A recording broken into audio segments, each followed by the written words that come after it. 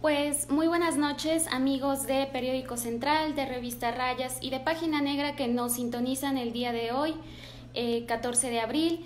Como saben, les estamos llevando la cobertura especial sobre el coronavirus aquí en México y en específico en la ciudad de Puebla. Mi nombre es Carmen González y les invitamos a ver esta transmisión para dar a conocer los datos que nos han brindado las instituciones de salud y el gobierno del estado e informarles sobre cómo está la situación actualmente en el estado.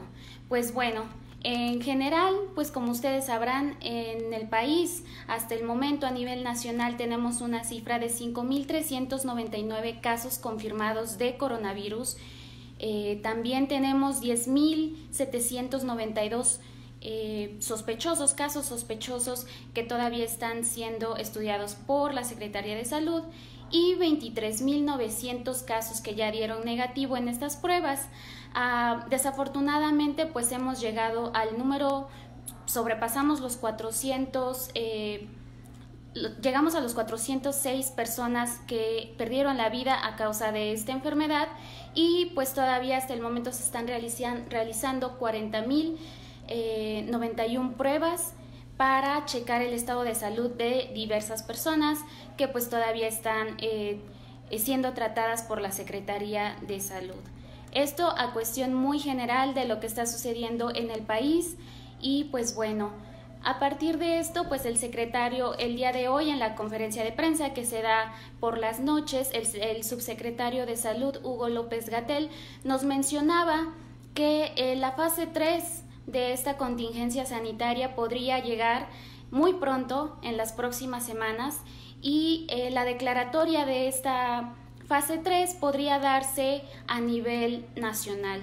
Eh, hace pues unos, unos, unas semanas se había dicho que la fase 3 podría haberse dado pues por zonas, ¿no? Podría haberse declarado por regiones dependiendo del número de contagios y de las personas que tuvieran pues obviamente esta sintomatología.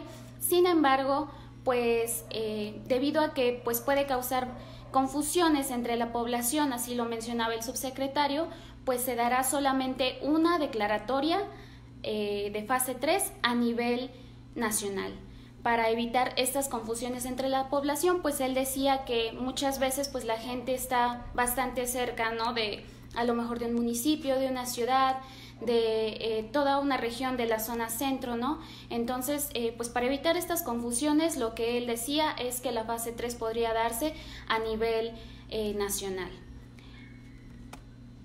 Bueno, pues eh, en cuanto al insumo, al desabasto que se ha mencionado de eh, insumos médicos por parte de algunas dependencias estatales, pues el, subsecretario Hugo López Gatel también mencionó que esta, pues este desabasto aparentemente no debería de existir debido a que él ya eh, ha firmado ciertas constancias de, por parte de los 32 estados que confirman que ya recibieron este apoyo por parte del gobierno federal. Por lo tanto, no debería de haber o no debería de existir ningún desabasto de medicamentos ni de insumos eh, de material médico para que los doctores, las enfermeras, el personal de limpieza pueda laborar con tranquilidad en las instituciones de salud, en los hospitales, en los centros de salud, en las clínicas. Sin embargo, pues ya vimos que también hay eh, pues ciertos eh, ciertos comentarios al respecto. Entonces, pues bueno, lo que el, subsecretario nos dice es que este mecanismo eh, pues de entrega prácticamente ya se dio a los 32 estados del país y a partir de esta entrega pues es responsabilidad de la administración y jurisdicción estatal, pues obviamente hacer uso de estos recursos. Por lo tanto, pues eh, no debería de existir este desabasto. Sin embargo, también eh, pues alentó al personal de salud a que pues informe de manera directa cómo es que ellos pues piensan o ellos están viendo la situación eh, de manera de que pues obviamente el gobierno federal pueda eh, saber con exactitud cuáles son los lugares en donde se está dando este desabasto. eh, y pues ya obviamente a partir de esto investigar en cada unidad de medicina, cada hospital, cada clínica para pues saber qué es lo que qué es lo que está pasando con este apoyo que tal vez no está llegando de la manera más adecuada a las personas que lo necesitan. En específico, pues al personal de salud de, eh, de este, pues de cada estado. Nos dice Roberto Guzmán, cuenta que se Madre en San José. Sí, efectivamente, pues bueno, eh, este es un tema que les íbamos a pasar más adelante, pero pues ya que lo traen a colación, pues lo vamos a mencionar. Resulta que esta tarde el personal de salud, enfermeras, eh, médicos, en especial, se manifestaron dentro de este hospital de especialidades, eh, Manuel Ávila Camacho, que pues todos conocemos como San José. En este pues hospital, el personal administrativo, las enfermeras, eh, pues se manifestaron, ¿no? Se manifestaron porque eh, resulta que los insumos médicos para trabajar ahí no han llegado todavía. Ellos se quejan de que tienen que comprar sus propios cubrebocas, ellos tienen que comprar su propio material para poder trabajar dentro de este hospital. Por lo tanto, pues estaban manifestándose eh, las enfermeras obviamente hablaban, decían que dónde estaban también las caretas que les habían donado por parte de la Ibero, este grupo de la Ibero que está realizando caretas y pues obviamente repartiéndolas a todos los hospitales que están atendiendo la contingencia sanitaria. Eh, pues resulta que estas personas no cuentan con el material eh, pues obviamente necesario, así lo dijeron ellos durante esta manifestación y resulta que eh, también han acusado que algunos pacientes son tratados o más bien son diagnosticados de manera pues engañosa para aparentar que ellos llegan con alguna infección o dolor de garganta, con síntomas mínimos que no representen eh, riesgo para las personas. Sin embargo, pues ellas mismas han detectado estos problemas dentro de la institución. Incluso dijeron que una trabajadora, una enfermera de este lugar, pues resultó contagiada y lamentablemente falleció. Este fue el reporte que ellos eh, pasaron a través de redes sociales. Fue una enfermera la que grabó todo a través de Facebook y pues esta fue eh, la consecuencia. A partir de eso, pues obviamente había compañeros reporteros eh, de otros medios cubriendo esta manifestación. Entonces fue cuando sucedió una riña aparentemente en la que se ve que están golpeando a el personal, el, bueno, el, personal de seguridad está pues atacando a los compañeros de prensa y entonces se arma ahí un pues un tumulto. Eh, el personal de salud como tal dijo, se expresó de esta manera y dijo que esas no eran acciones adecuadas eh, contra los medios y sobre todo porque estaban pues ellos manifestando su sentir al respecto. Por lo tanto, pues sí, eh, ellos dijeron que pues prácticamente eh, los ingenieros que trabajan en el hospital fueron los que provocaron esta riña y a partir de esto pues se disolvió el caso. También, pues obviamente con ello llega la amenaza de las enfermeras, del personal de salud, de no laborar hasta que se les entreguen los insumos necesarios y, y amenazan con realizar un paro indefinido hasta que se les eh, solucionen estas carencias con las que todavía cuentan. Y eh, pues bueno, esta es la situación que se vivió esta tarde en el Hospital de San José, así que pues es la información que nosotros tenemos al respecto. También pueden consultar nuestra información a través de Página Negra y ahí verán eh, obviamente el video y las características que les estamos diciendo hasta el momento. Hola. bueno, entonces ya vamos a los casos de COVID. Eh, les comentaba este tema porque fue lo primero que nos eh, señalaron en uno de los comentarios y era nada más para aclarar la situación. Pero bueno, ahora vamos a pasar con los casos de COVID en la, en la entidad poblana. Hasta el momento tenemos 284 casos confirmados de COVID, COVID-19. 256 sospechosos y 34 muertes hasta el momento, hasta el día de hoy que se realizó la rueda de prensa con eh, el gobierno del estado y la Secretaría de Salud.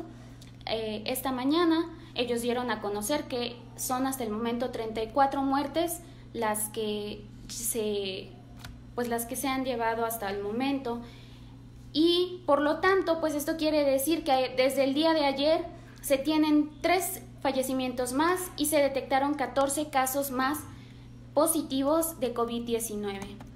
Así que, pues esta es la estadística aquí en Puebla.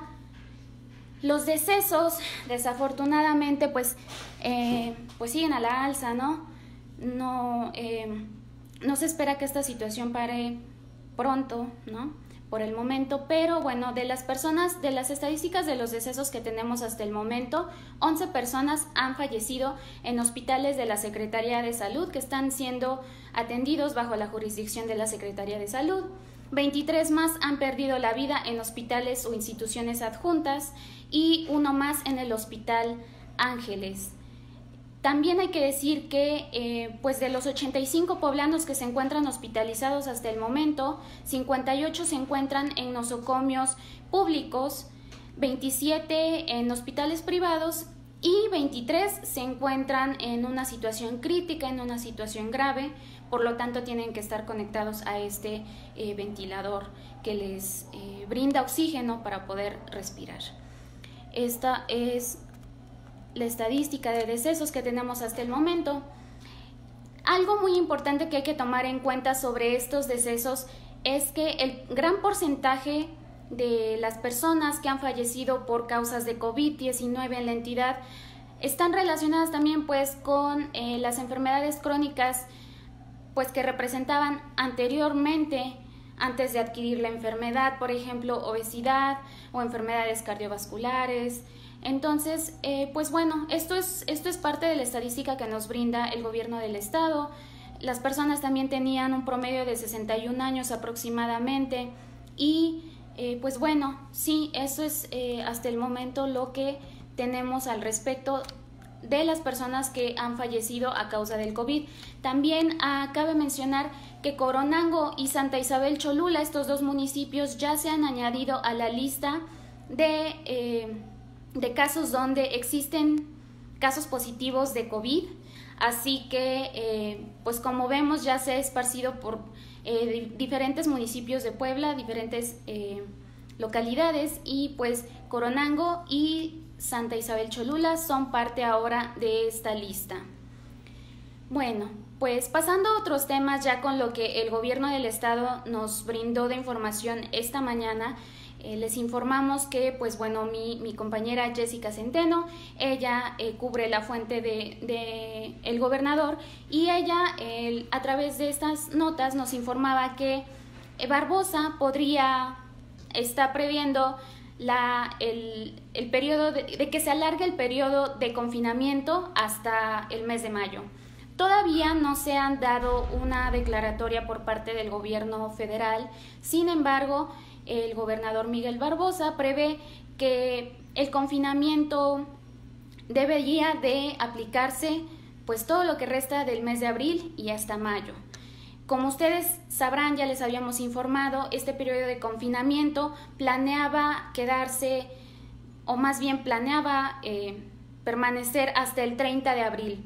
Sin embargo, eh, el gobernador dio a conocer el día de hoy que podría alargarse hasta el mes de mayo. Todavía no se sabe una fecha específica y les comento de nuevo, no ha habido un comunicado por parte del, gobierno federal. Sin embargo, ya sabemos que nos adentramos, estamos cada vez más cerca de la fase 3 y esto podría implicar pues obviamente que el confinamiento dure mucho más de lo que habíamos pensado.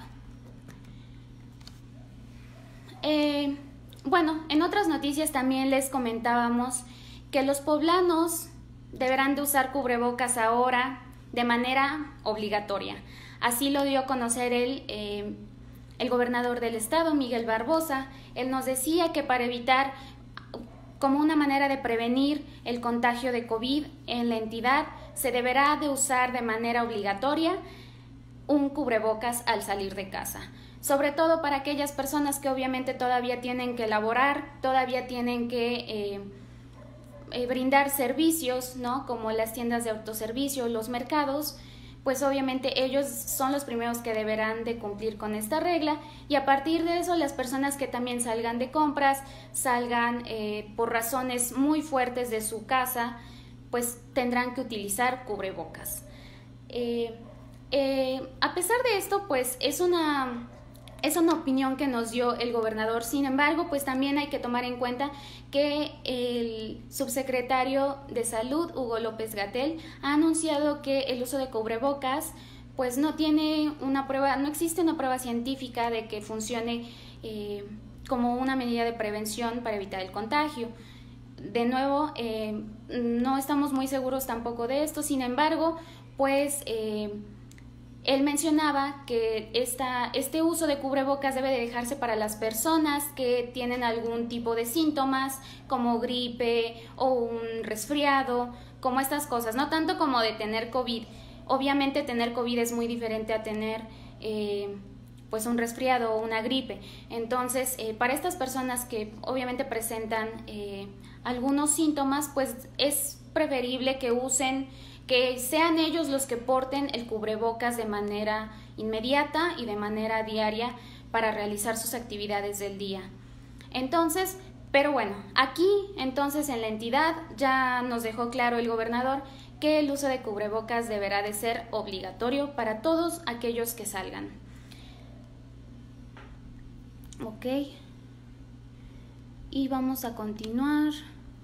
Nos dicen por acá cuántos casos de COVID-19 hay en Puebla.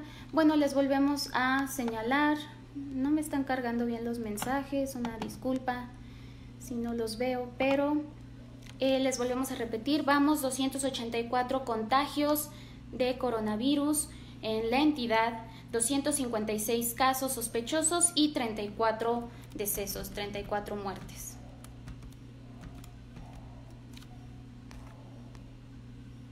Ok, pues les informamos que el día de hoy también el gobernador Miguel Barbosa anunciaba, daba esta pues esta declaratoria acerca de que los ayuntamientos de Puebla, los 217 municipios de la entidad, hacía este exhorto a los municipios para que desalojen por completo los ambulantes, a los vendedores ambulantes de sus calles, debido a que el periodo pues, de contagio de fase 3 tal vez eh, está cada vez más cerca.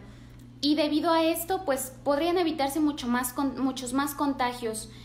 Por lo tanto, incitó a las autoridades, a los ayuntamientos, a que eh, los, los vendedores ambulantes desalojen las calles de pues prácticamente de todos los lugares que se pueda y pues obviamente como medida para prevenir el contagio. Esto debe de establecerse justo antes de que inicie el periodo pues más, eh, más peligroso para las personas. Además anunció que el desalojo debe de ser de manera pacífica, no se deben violentar a estas personas, pero en caso de que eh, en caso de que las personas no acaten estas reglas o en caso de que los ayuntamientos no acaten estas eh, medidas, pues eh, el gobernador anunció que la Secretaría de Seguridad Ciudadana tomará cartas en el asunto, obviamente pues respetando todas estas reglas, todos eh, los derechos humanos de cada persona, pero sí se les insta a las instituciones, a los ayuntamientos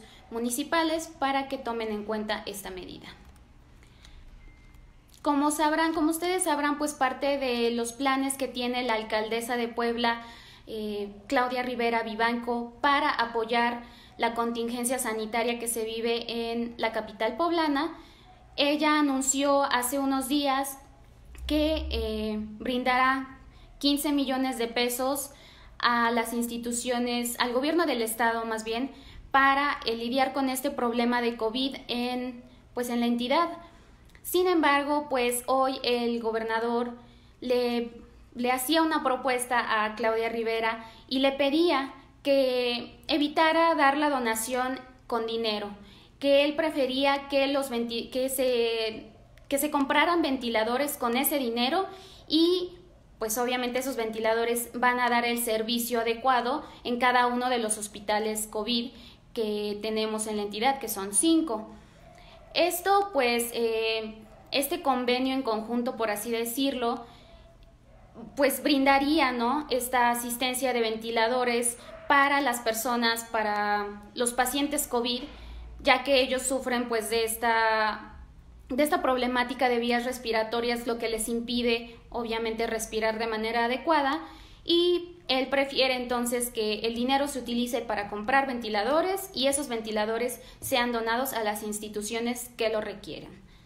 Y también pues con ello evitar que el dinero pues se pierda por ahí.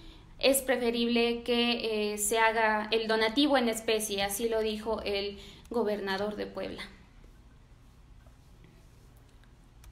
Bueno, como les comentaba, pues este plan que tiene la alcaldesa Claudia Rivera acerca de el plan de ayuda por COVID-19 en la capital de, Puebla, ella había anunciado el pasado 13 de abril que se destinarán 105 millones de pesos para, para 12 sectores vulnerables de la población y brindar apoyo al sector salud, al sector eh, de energía eléctrica, también habrá aplazamiento de pago predial y entrega de despensas para eh, familias.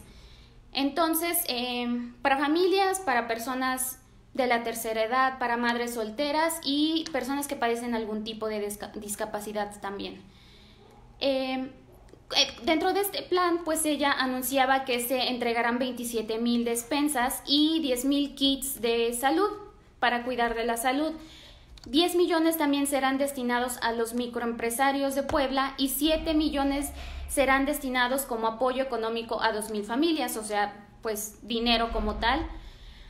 Y eh, también se brindará apoyo a los comerciantes del primer cuadro de la ciudad del centro histórico, con 5 millones de pesos para el pago de sus servicios eh, durante un periodo de dos meses, además de un programa de desempleo temporal para aquellos que hayan perdido su trabajo durante esta, esta contingencia.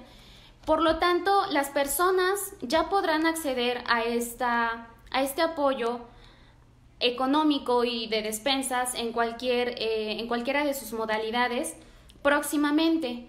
Para poder acceder a este, a este apoyo, lo que la gente deberá de hacer es entrar al portal del ayuntamiento que es www.pueblacapital.gov.mx y ahí encontrarán la información, encontrarán la convocatoria que les dirá cómo es que pueden obtener este apoyo.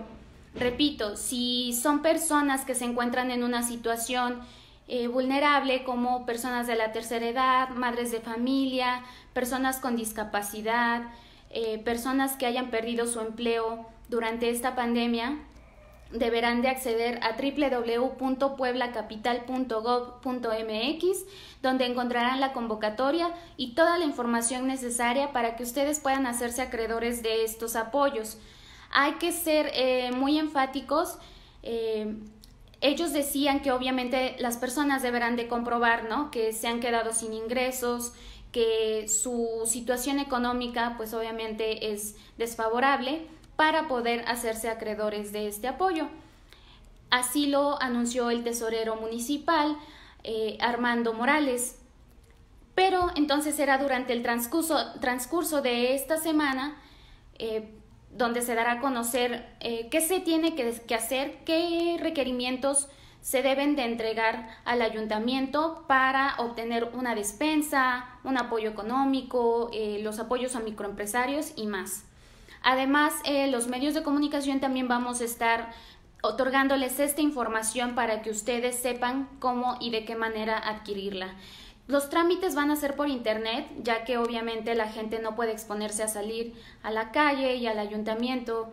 Eh, entonces, pues todos, todos los servicios, todos los, eh, la convocatoria como tal se dará a través de internet, del portal del ayuntamiento. Bueno, pues ya les comentábamos también lo que sucedió la situación en el hospital de San José y en otras noticias que también nos brindan nuestros eh, nuestros amigos de Página Negra. Les queremos comentar que en la entidad oaxaqueña se registró la muerte de un poblano a causa de COVID-19. Eh, resulta que esta, este cuarto fallecimiento eh, fue por parte de una persona de un poblano de origen de Puebla y las autoridades de Oaxaca así lo dieron a conocer el día de hoy, confirmaron esta muerte. Eh, él estaba internado en el hospital de la Mixteca oaxaqueña y pues desafortunadamente a pesar de recibir los tratamientos y todo el apoyo del personal de salud, pues esta persona perdió la vida. Eh, en Oaxaca, como tal, los casos de COVID han aumentado a 44, 44 casos confirmados positivos y cuatro de ellos eh, pues ya eh, han fallecido. Asimismo, pues también uno de ellos, el la cuarta persona que falleció, que perdió la vida, fue una persona de origen poblano.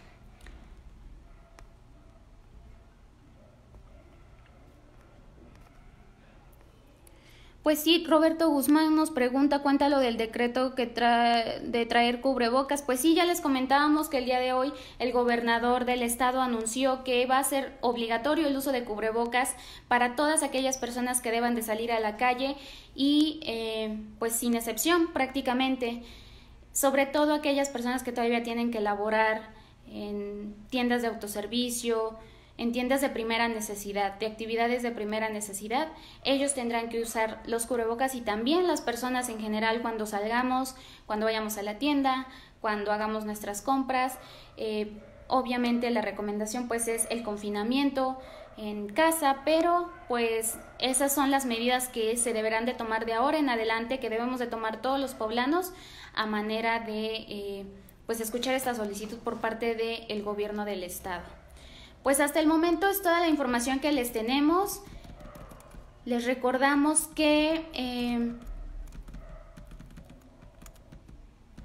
les recordamos, como siempre, pues si tienen que salir de su casa, cuídense mucho, piensen en las personas que, eh, que pues van a ver, que, que van a visitar, ¿no? O de aquellos que viven con ustedes, si están, si hay mujeres embarazadas, si hay personas de la tercera edad, personas enfermas. Recuerden que este es el grupo más vulnerable hasta el momento de la población. Así que eh, tómenlo en cuenta, lávense las manos constantemente, usen gel antibacterial, usen su cubrebocas ahora, a partir de ahora, al salir de la calle, a la calle.